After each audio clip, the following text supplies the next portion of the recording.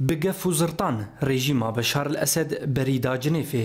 Li hember wê rikberî jî bi tekezî û xwestekên xwe herwiha piştgiriyeke navnetewî haziriya xwe ji destpêka danûstandinan re dike. Berdevkê şandeya rikberiyê Salim El Mislit dîsa eşkere kir ku rikberî tenê ji bo gengeşekirina mijara veguhestina siyasî diçe Cinêfê û dive cihê Beşar el Esed li Sûriyê tune be.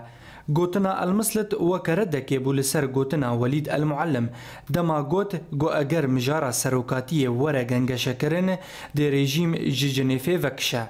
Danûstandinên dê îro bi rengekî ne rû bi rû dest pê bike û piştî hevdîtina wî li gel şandeya Rikberiyê, Stîvan Dîmstora ragihand ku civîna wî li gel rikberiyê erênî bû. De Mistura got ku ew ê îro li gel şandeya rejîmê bi serokatiya Bişar El Ce'ferî jî bicive û ew bi hêvî ye ku rejîm jî weke rikberiyê be.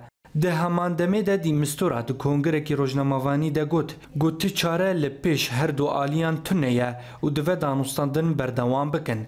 De Mistura da zanîn ku veguhestina siyasî li Sûriyê mijara herî giring û sereke ye.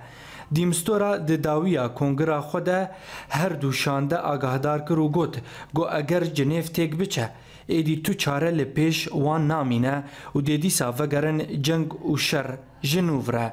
Li hêleke din Mosko agahdarî da Tirkiyeyê û got ku ne ji mafê Tirkiyeyê ye kesayetiyên cinêfê bihilbijêre.